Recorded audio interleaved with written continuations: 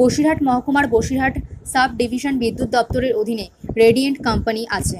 আর তার অধীনে হাড়োয়া মিনাখা ভেবিয়া, খোলাপোতা, বাদুড়িয়া, হাসনাবাদ, সন্দেশখালী সহ এগারোটি সাপ্লাই অফিস রয়েছে।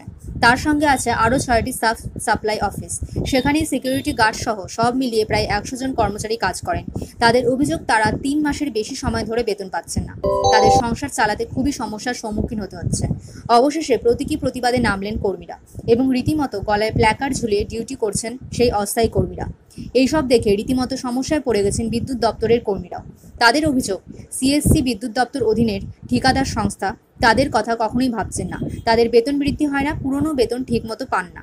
নতুন বেতন বৃদ্ধি তো দূরের কথা, অবিলম্বে তাদের বকেয়া বেতনের দাবিতে এই অভিনব কাদায় প্ল্যাকার ঝুলিয়ে কাজ করতে হচ্ছে।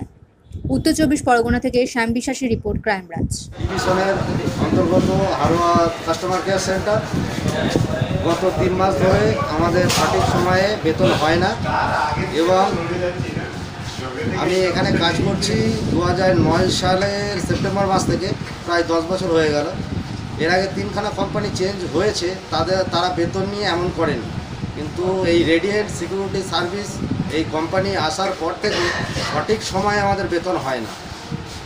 আর আমাদের যে স্কেলে মাইনে হওয়ার কথা কোম্পানি চেঞ্জ যতবার হয়েছে ততবার স্যালারি বেড়েছে। কিন্তু এই কোম্পানি আসার পরে গত কোম্পানির স্যালারির থেকেও এরা কেটে নিয়ে কম স্যালারি দেয়, কিন্তু সঠিক সময়ে বেতন দেয় না। ডিভিশনকে বললে ডিভিশন বলে কোম্পানি ফোন তোলে না কোম্পানি চেক নিতে আসে না। কোম্পানিকে বললে কোম্পানি বলে যে ডিভিশন চেক দেয় না। তা এর মধ্যে আমাদের বেতন আটকে আছে। জ্বালা তো আমাদের। হুম, তা সঠিক।